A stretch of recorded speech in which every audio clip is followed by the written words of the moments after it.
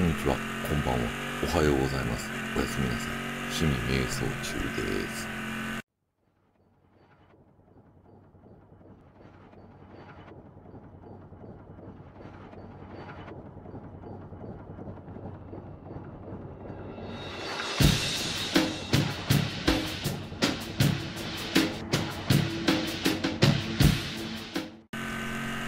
えっとですね、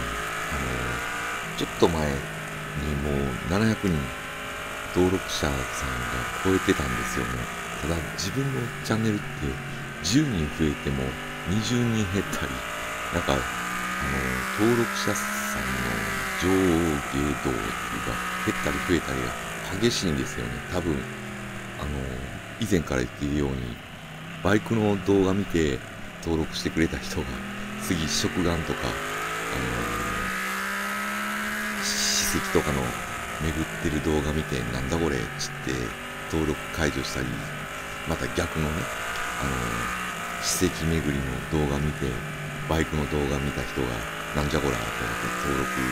外したりするっていうのが激しかったり、あと、これ、昔からよくしてくれてる方から指摘いただいたんですけど、自分ってあの、チャンネル登録してくださいねって言われたら、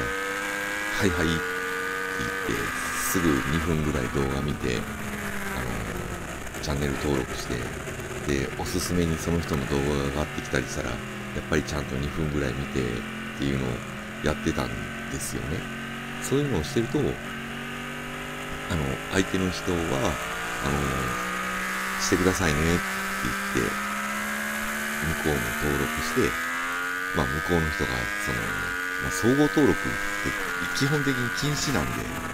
あの、やっちゃいけないことなんですけど、まあ、登録してくださいねって言われたら、登録せなあかんかなと思ってしてたんですよね。そういう人たちが多いと、一気に、あの、違反やっていうことで、10人、20人バッサリ切られたりするっていうことやったんで、まあそういうことなんだなっていうのも最近気づいてきました。で、ちょっと、最初はバイクのね、動画をメインにしていこうと思ったんですけど、ご存知の通り、私もバイク持っていません。なので、史跡巡りとかが中心になってしまっているんですけども、あのこの7月、8月って、やっぱり終戦記念日が近くなったりするんで、あの昔の戦争遺跡というか、戦績とかもね、あの、紹介してる動画の再生回数が増えて、あの、どう、あの、チャンネル登録者さんも増えていく時期でもありますんですよ、毎年ね。なんで、素直に700人超えた